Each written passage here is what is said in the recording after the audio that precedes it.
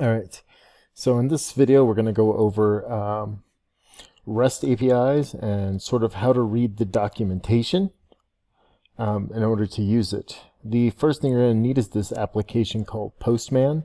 It basically is an application that just makes it much, much easier to test out REST APIs, particularly because it saves everything in the cloud and that means that you can access it at any point, you can rerun the commands at any point, and you can see uh, the results.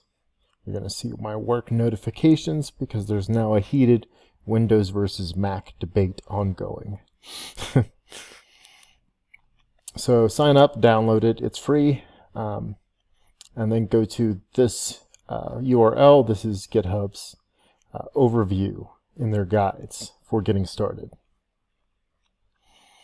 And Postman is what's considered a wrapper library uh, around. It basically uses JavaScript's fetch under the hood.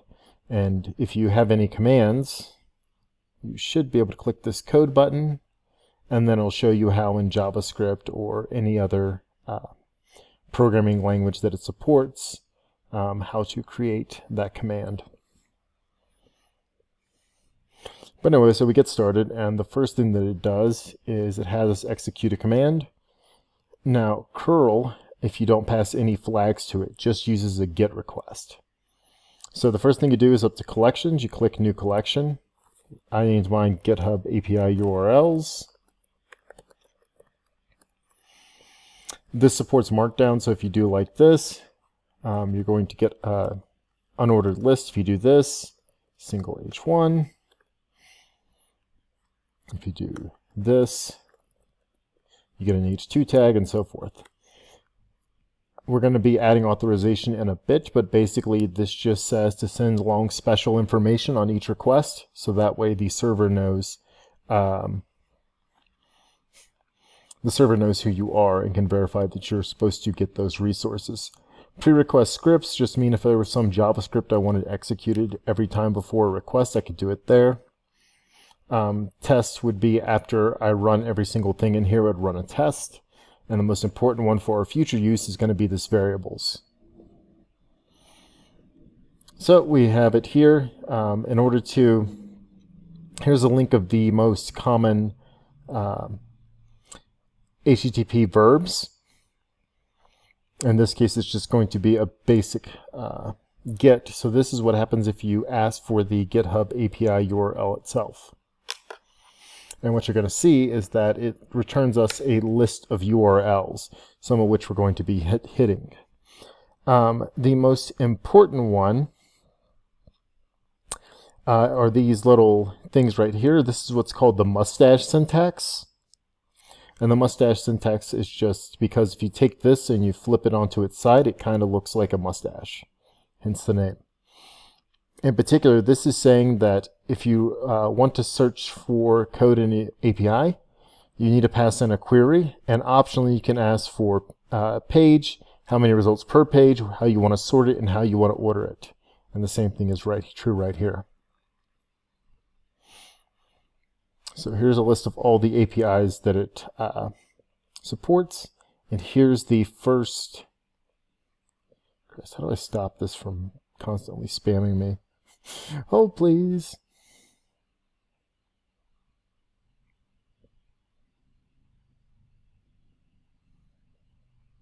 Mentions. There we go.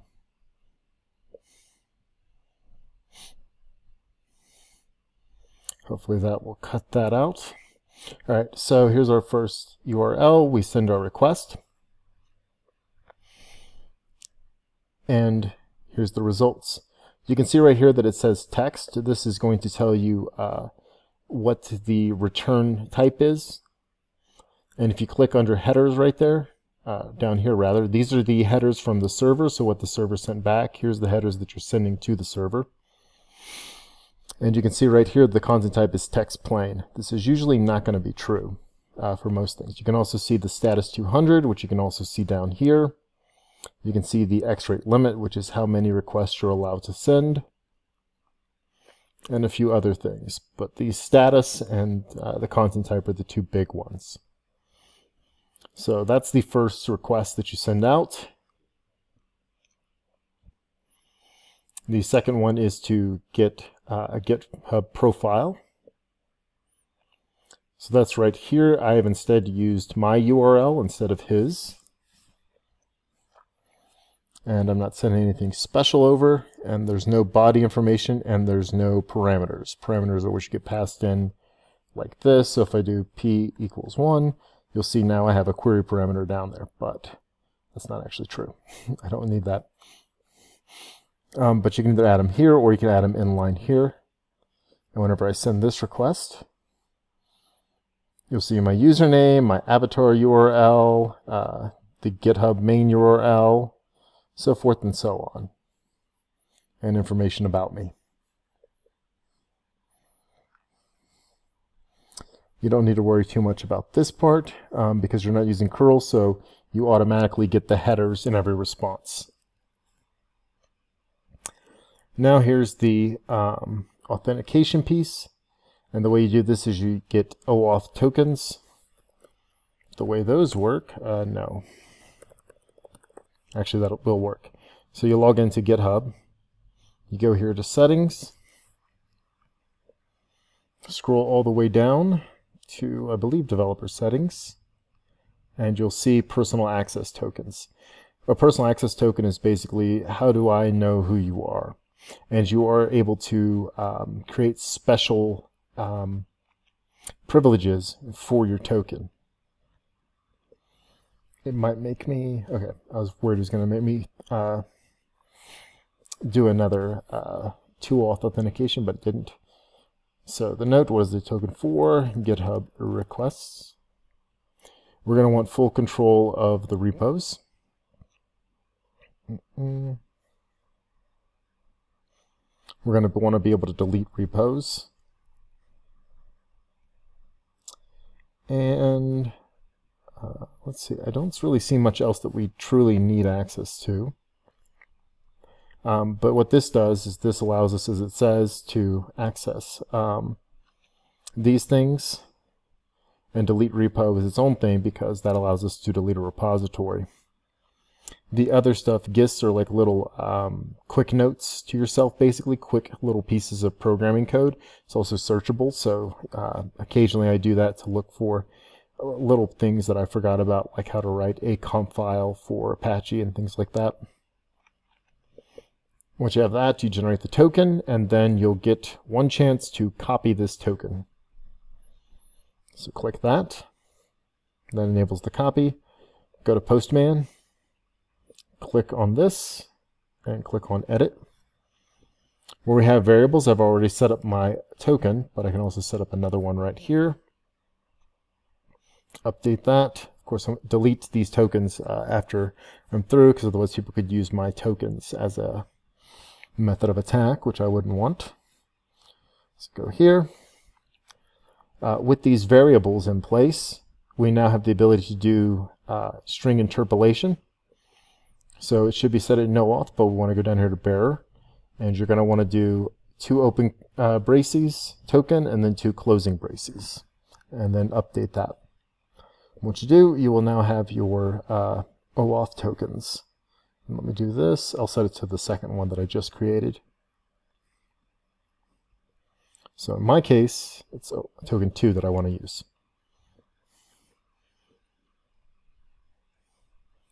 Uh -huh. So this just goes through uh, creating it, which we went over.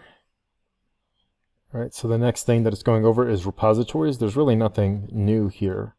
Um, the only thing we're doing is if you call user slash repos like this, it's going to get all of my repositories. Um, if you if, if you're doing on this account, obviously you're getting yours. Um, so there's all mine. and that's this one right here. We can also get someone else's repos by users octocat repos.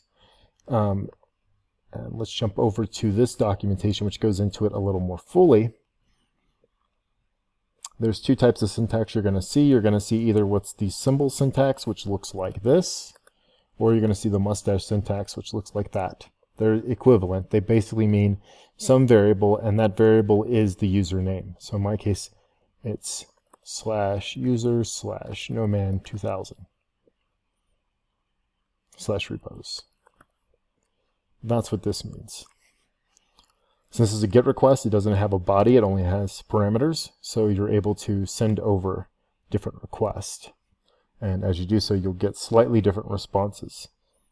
Um, the most important thing there is to look for where that goes. So for example, down here, if I want to change a header that I send, like it has a special accept header, um, I would get rid of this one, I would write it down here, and then I would paste in whatever it is they want me to. And that's how you can control the headers. Body we'll get to whenever we get to post for the new repo.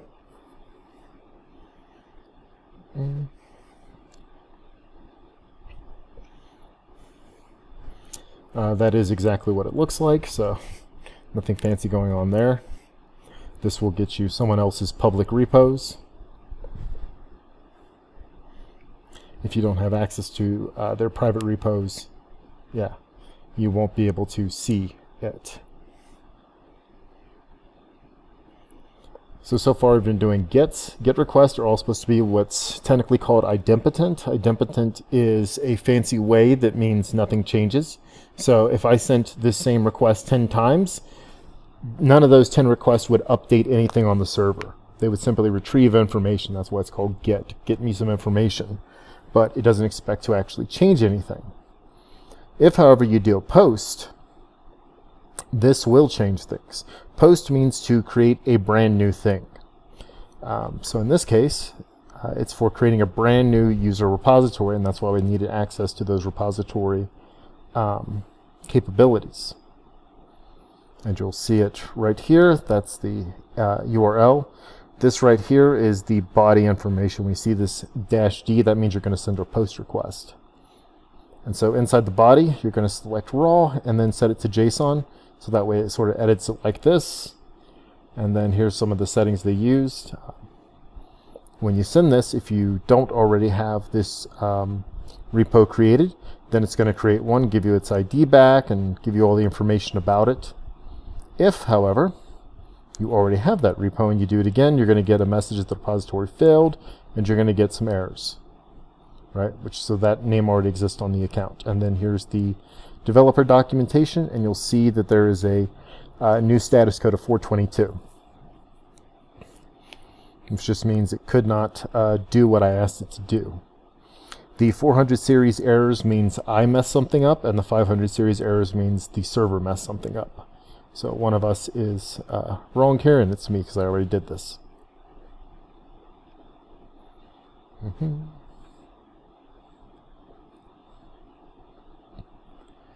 Blah, blah, blah. Uh, these things we can, I'm going to mostly ignore because they're just more of the same. So here's getting uh, all the issues for the various repositories that you're part of. Here, um, if you do not have uh, authorization to an organization, you will not be able to get things, so it'll just say um, not found as a response, and you'll see right here that you get a 404. Here, however, I am a member of the Epic Games org, so because of that, I am able to retrieve it, but I don't have anything assigned to me on there. And so more get request. Uh, probably the only one that's any interest is this one. So if I want to see the issues with Rails, I'm able to specify optional parameters, like how many results do I want per page and what page am I on. This enables pagination because some issues can go be you know thousands of issues um, inside of there. And then finally is the delete command, and that's where I send a delete request uh, to our created blog. So I send that, and then I look for the response. I got a 404. Da -da -da Body right here.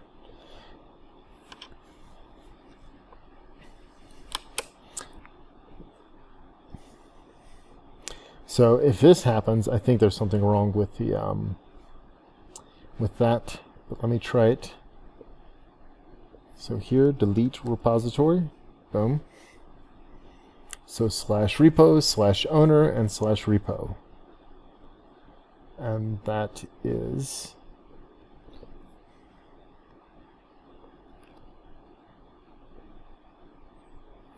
Oops. So here I have a mistake. I need to do that. And here it sends a 204, no content. 200 is successful, but that means it was able to do this. But um, when you delete something, you don't get any content back because you just deleted something. So you just get a response that says, hey, you did it. So if I send that again, now I get the not found again. So see, reading documentation, it helps. Um, and those are the basics, really. You have uh, a couple of other ones that you're going to see, which are put and patch. Put means, hey, I created something and it exists, but I'm going to overwrite whatever I created with something new. But I'm not creating a new object, I'm just overwriting one that already exists. Patch means I'm going to take a small piece of an existing object and I'm going to change one or two things about it. So I'm just going to patch something versus completely replacing something. And so that's how API URLs work. You're going to see um, the little URL like this. They won't put the API piece because that stays the same. You'll see that referred to as base URL in a lot of stuff. And that's what it means. It means that uh, HTTPS, API.github, etc. Assume that's true for everything. And then all you need to worry about is what you add after that, which would be this stuff.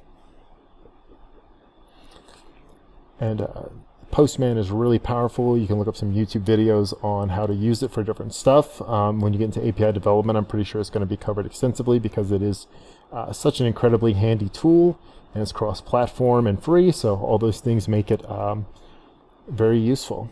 So hopefully that kind of answers some of your questions around that.